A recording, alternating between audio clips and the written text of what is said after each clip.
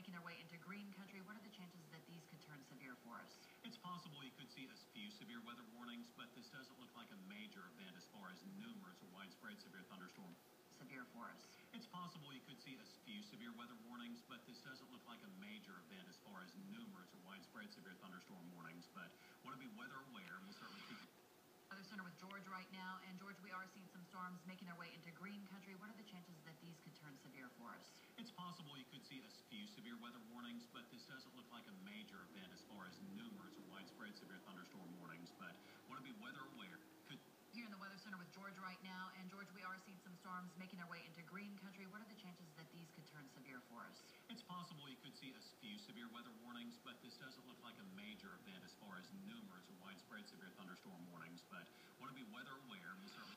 Center with George right now, and George, we are seeing some storms making their way into green country. What are the chances that these could turn severe for us?